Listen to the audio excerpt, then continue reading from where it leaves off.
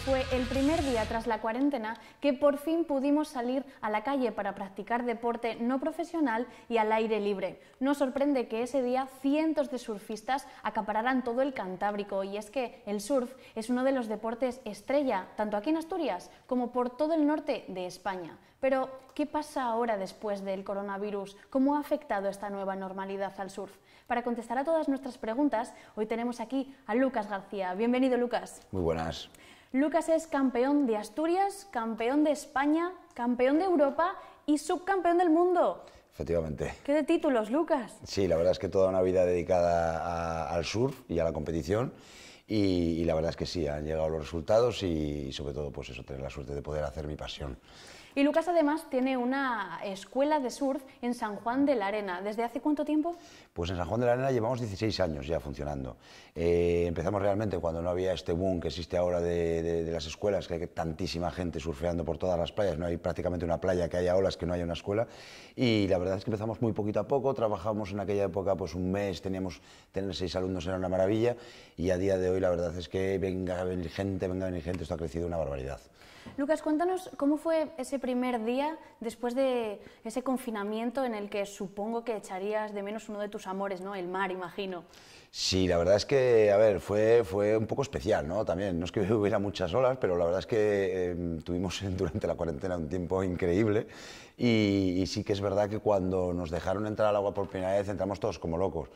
También es verdad que estábamos muy mal físicamente, ¿no? porque la cuarentena pasó factura y el primer día fue un poco duro en cuanto a la forma física, pero verte en el agua después de tanto tiempo en casa, esa sensación de libertad, eh, la verdad es que inmejorable.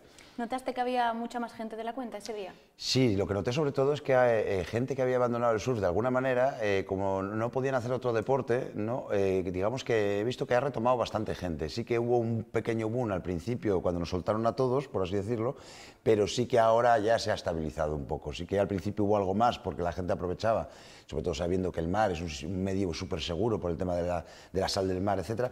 Y, y sí que hubo un, como más gente, ¿no? pero ahora ya está más estabilizado por el tema. ¿Y tomasteis alguna medida de seguridad en esos primeros momentos, esa mm. primera toma de contacto? No, la verdad es que, a ver, yo soy natural de Salinas, pero llevo muchísimos años viviendo en San Juan de la Arena y allí somos muy pocos. Entonces, realmente eh, te puedo decir que iba, fui a surfear con, conocíamos en el agua, prácticamente eran todos familia de mi mujer, porque mi mujer es de allí y éramos todos familia, o sea que realmente no, no cambiaba nada, no tuvimos que tomar ninguna medida, un, un, poco de distancia nada más. Vale, ¿y en tu escuela qué medidas habéis tomado para que los alumnos puedan comenzar a surfear? Bueno, pues en nuestra escuela eh, lo primero es el, el tema de la, de la, desinfección del material. Para los trajes nosotros utilizamos un, un producto que se llama Neoclean, Neopren Clean, y este pues está aprobado por sanidad, es incluso más efectivo que el, el sanitol y la verdad es que aclaramos todos los trajes con, con, este producto y la verdad es que funciona y no tenemos ningún riesgo porque encima salen del agua salada, con lo cual están doblemente desinfectados. Y luego las tablas, lo que hacemos es echamos una solución de, de agua y lejía y entonces pues las desinfectamos un poco, aunque vuelvo a lo mismo que como salen desinfectadas también, pero bueno, por seguridad lo hacemos. En cuanto a nosotros, por ejemplo, los, los críos se echan muchas veces vaselinas por el cuello porque rozan los trajes, primero tienen que antes de tocar nada echarse el, el, el gel hidroalcohólico para luego tocar el para poder coger la, la, vaselina, tenemos un bote grande, entonces para que lo puedan tomar. Y mientras que hacemos el reparto de material y eso, pues eh, utilizamos mascarillas. ¿Has notado que ha repercutido de alguna manera el coronavirus eh, a nivel de gente? ¿Hay, ¿Hay, más gente, hay menos gente, más turistas? ¿Ha afectado para algo? A ver, eh, Primero, según nos dejaron empezar a dar clases, que fue el 11 de mayo, ¿no? las empresas de turismo activo pudimos empezar a dar clases, lo que noté fue un repunte bestial. O sea, yo te puedo decir que nunca he trabajado tanto en el mes de mayo. Eh, sí que es verdad que yo eh, soy, no tengo alojamiento como tal, porque hay otras escuelas de surf que sí lo tienen, y yo tengo más clientela de, la zona, ¿no? que vienen de Oviedo, que vienen de, de, de Gijón, de Avilés, de, los alrededores, de, la cuenca incluso. Entonces, eh, sí que noté un repunte importante trabajando todos los días, incluso por la mañana y por la tarde. Eh, luego, pues eh, hubo un pequeño, digamos que bajó un poquitín, ¿no? digamos ese tramo final de, junio, y ahora volvemos otra vez a, a, coger ritmo. Sí que estoy notando que, bueno, nosotros por nuestra parte tenemos campamentos ahí en San Juan de la Arena y los hemos suspendido porque no, eh, no creíamos que no podíamos garantizar la seguridad, ¿no?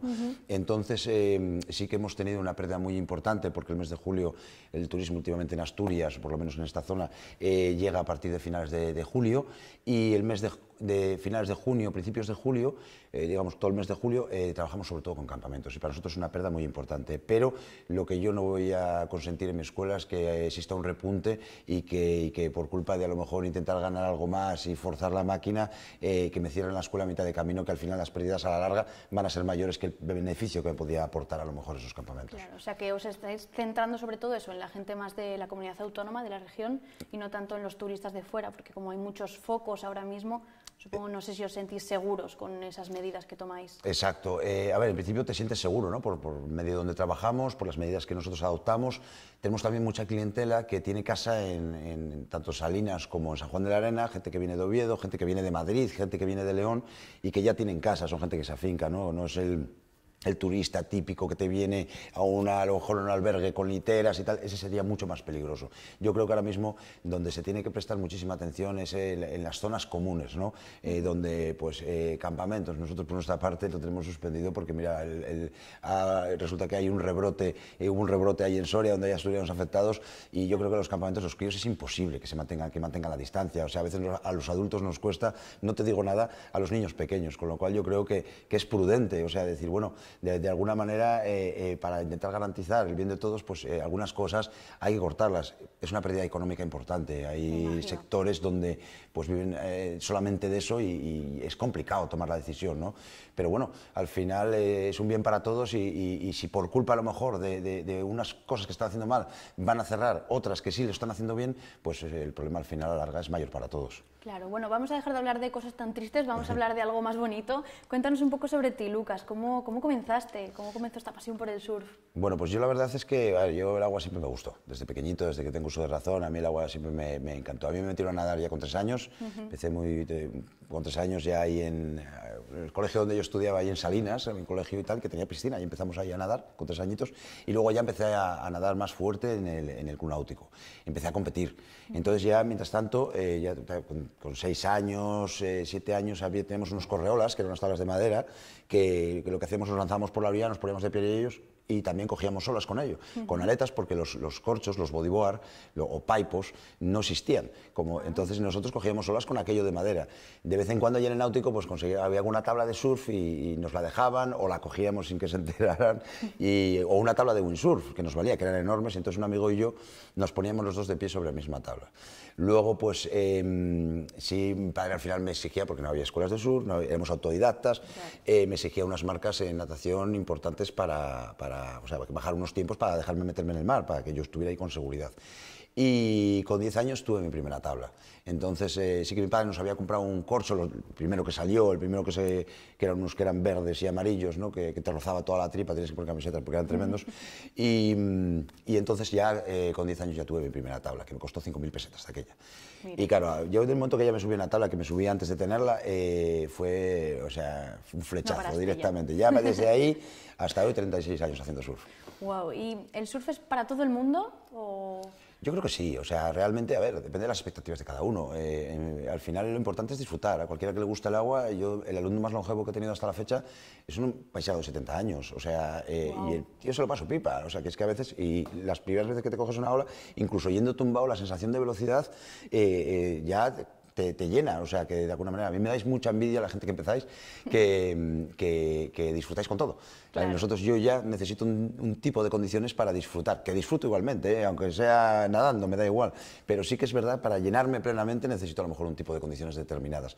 Eh, la gente que empieza no, le vale absolutamente todo, con lo cual yo creo que, que, no hay edad, o sea, no hay edad. Eh, nosotros cogemos niños desde cuatro años hasta lo que sea y al final es cuestión querer uno, que lógicamente cuanto más tarde empieces, eh, no vas a llegar a ser campeón del mundo, pero para tu disfrute personal es válido 100%. Pero bueno, incluso creo que tenías una alumna que era invidente, ¿verdad? Y podía hacer surf perfectamente. Sí, sí, sí. De hecho, eh, bueno, la entreno, que es una, una, chica, se llama Carmen, Carmen López, y eh, de hecho estuvimos ahí en California en el Campeonato del Mundo justo antes de todo este confinamiento, quedamos campeones del mundo, y yo estoy ahora trabajando con la, con la Federación Española, estoy de seleccionador nacional de surf adaptado. Entonces, eh, como selección quedamos campeones del mundo también. Entonces, estás trabajando con diferente gente, con diferentes discapacidades eh, que cuando me viene un chaval y me dice que él no puede, le digo, mira. Mira toda esta gente, no Sí. se quejan para nada, en fin, una lección de, de vida pues tremenda. Para mí la verdad es que me llena muchísimo y creo que me aporta más de lo que doy, o sea, es algo alucinante. Qué bonito. ¿Algún consejo para esa gente que quiere empezar pero que ve el surf un deporte muy difícil o casi imposible? A ver, es- la realidad es que es un deporte difícil, pero yo sobre todo lo que digo es que se olviden de esas imágenes de la tele, de buscando Mavericks y todos esos que al final la gente, tú le dices, le, le hablas a alguien de surf y de repente empieza a pensar en esas olas gigantes que salen por el telediario, etcétera. No, no, no. Se empieza con muchísima seguridad. Hoy en día hay escuelas donde hay profesionales, donde se empieza con, con espumitas, con olas muy pequeñas en función de las necesidades de cada alumno. Entonces eh, es súper seguro, o sea, realmente al final depende de la capacidad de, de la escuela y del monitor, eh, pero es súper seguro, o sea, los materiales son blanditos, ha evolucionado todo esto muchísimo, o sea, y cada uno puede llegar hasta donde, hasta donde quiera y es ahora mismo es asequible para todo el mundo. Muchísimas gracias, Lucas, por estar aquí con nosotros, por compartir ese amor que tienes por el surf y por el mar. Y a mí me gustaría terminar con una frase de uno de los grandes surfistas de estadounidenses ¿no? del mundo, que es Laird Hamilton, que dice, todos somos iguales ante una ola. Y, y es una gran verdad, ¿no? Yo creo que desde aquí podemos animar a todo el mundo a, a practicar, a ponerse delante de una ola. Es una gran frase y una gran verdad, desde luego, sí señor. Muchísimas gracias, Lucas, Gracias por estar aquí con nosotros. Nos quedamos ahora con unas imágenes de la escuela de Lucas García Surf en San Juan de la Arena. Y en unos pocos minutos volvemos con más deporte aquí, en Vins Televisión, la televisión del deporte del Principado de Asturias.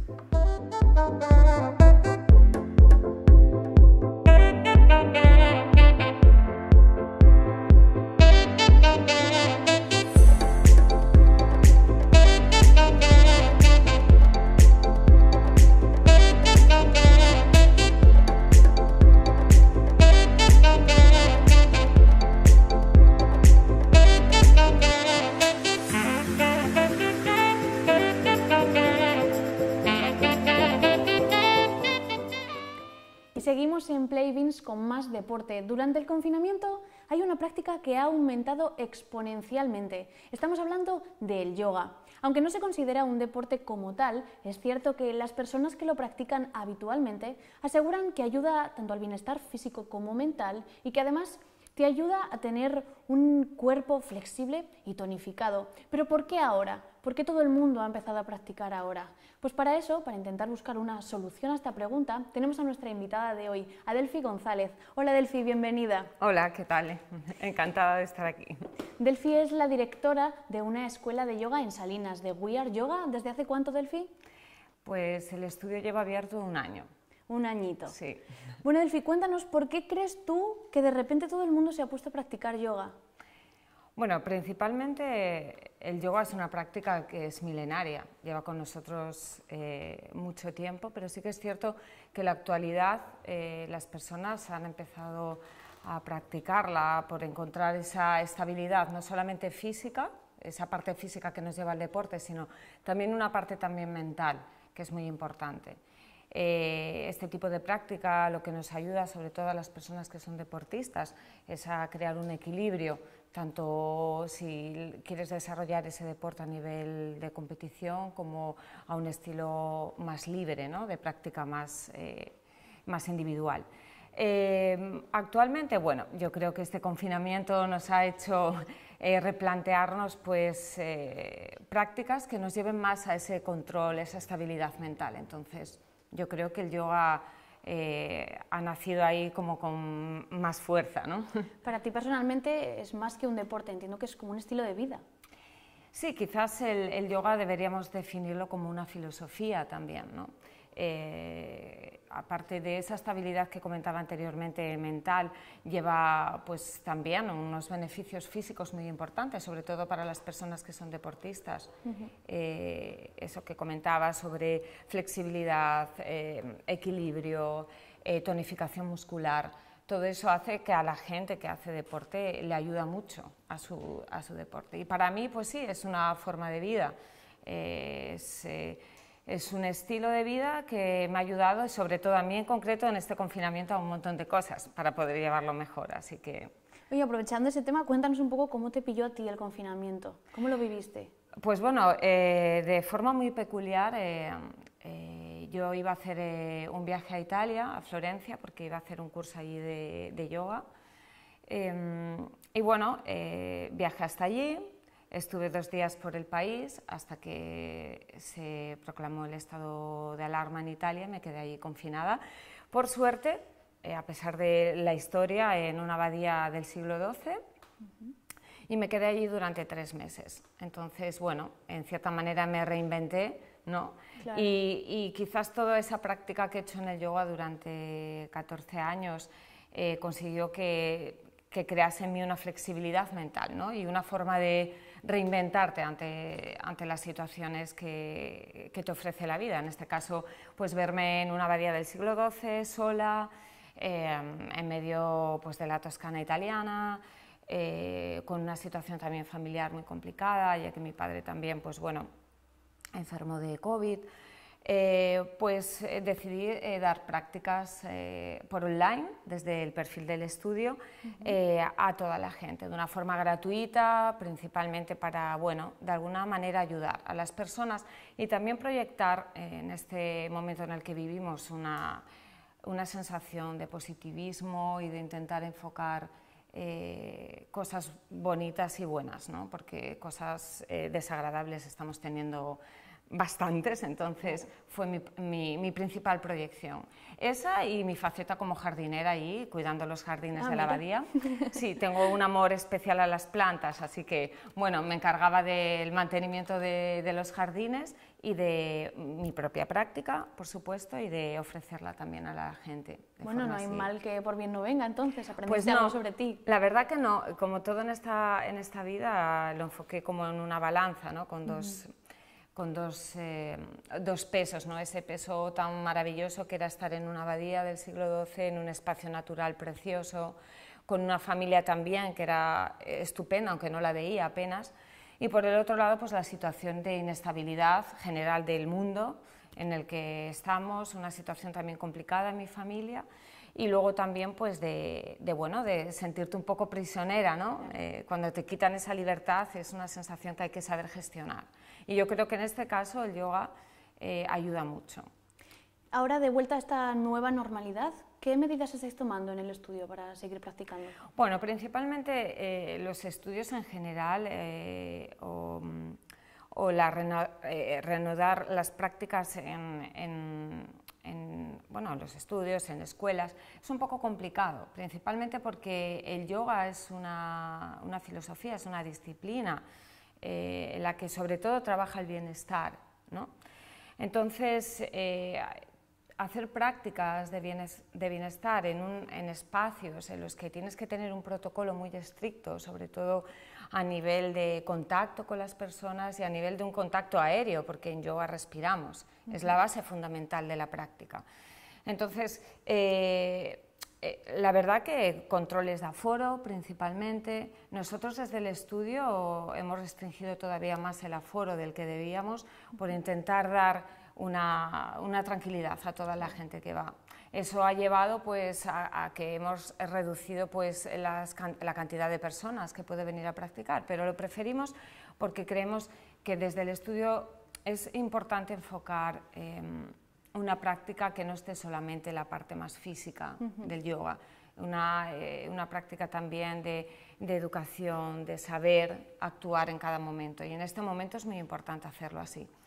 Entonces hemos eh, o sea, controlado el aforo y todas las medidas de higienización necesarias, con geles, con limpieza del material, eh, pues en cada, entre práctica y práctica, media hora de limpieza, bueno, e intentar pues, que la gente tenga conciencia de que es un espacio y que tenemos que tener cuidado a la hora de practicar. Claro. Delfi, ¿cómo empezaste en esto del yoga y a qué edad? ¿Cómo fue ese inicio? Pues bueno, es, es curioso porque en esta entrevista que me estás haciendo, eh, la base es eh, una base muy deportiva y yo era deportista. Em, eh, yo empecé con, bueno, a practicar deporte de una forma libre, pero luego fui, entre comillas, profesionalizándome y mm, empecé a competir en carreras de, montaña, en ultra trails. Eh, disputé también eh, el Campeonato de España de Body Surfing, porque soy un amante del océano, me gusta muchísimo nadar, eh, los espacios abiertos.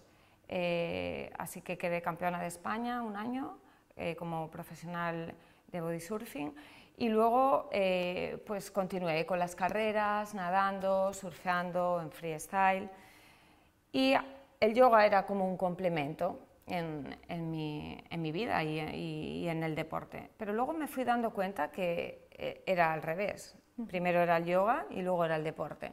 Entonces, eh, después de muchos años practicando con diferentes disciplinas aquí en Asturias, eh, decidí eh, quitar mi, de mi cabeza esa, esa, ese aspecto de, de ser competitiva. Uh -huh. Y el yoga pues, me ayudó muchísimo.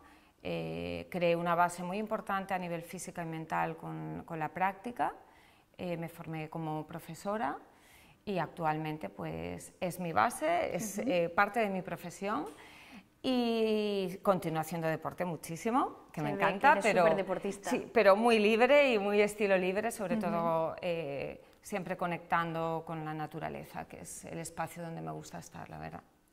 ¿Se puede aprender yoga siendo autodidacta o recomiendas más empezar en una academia que te vaya enseñando al menos las bases y luego ya seguir por tu cuenta? Creo que, que podríamos enfocarlo desde eh, dos maneras. Hay una parte que es muy autodidacta, que es la parte del movimiento, la conciencia corporal. Uh -huh. La conciencia corporal en nosotros y, y como deportistas es, es, una base muy importante. Si tú controlas tu cuerpo a nivel muscular, a nivel de, de sensitivo, eh, puedes crecer eh, a nivel profesional, eh, me refiero con el deporte. Pero sí que es cierto que la práctica en sí del yoga es necesaria con, con, un, con alguien que te, que te, te, te oriente, eh, te explique eh, las diferentes asanas que se trabajan, las diferentes eh, prácticas de respiración, uh -huh. por qué se hacen y a dónde te llevan. ¿vale? Cuando tú tengas esa base construida, tú podrás llevarlo y enfocarlo a la parte de tu vida que necesites, o al deporte en este caso, o a tu trabajo, o a tu familia, quizás también, ¿no? para proyectar esa buena energía. Entonces yo recomiendo siempre un buen profesional. Yo a día de hoy, independientemente que dé clases en el estudio, eh, practico con, con profesores. ¿Vale? Porque uh -huh. creo que en el yoga siempre estamos aprendiendo como claro. la vida. Entonces, uh -huh es importante compartir ¿no? ese feedback con la gente, de, de, seguir estudiando y practicando. Delfi González, muchísimas gracias por estar aquí, por compartir esas palabras tan bonitas. Eh, creo que es muy importante trabajar esa energía de la que hablas sí. y bueno, sigamos parando un poco y siendo conscientes ¿no? de nosotros mismos. Eso es, y sigamos con muy buena energía siempre uh -huh. y proyectándola en la gente que lo necesita, que es muy importante también. Gracias. Muchísimas gracias. Y seguimos con más deporte aquí en VINS Televisión, la televisión del deporte del Principado de Asturias. Que tengan una buena semana.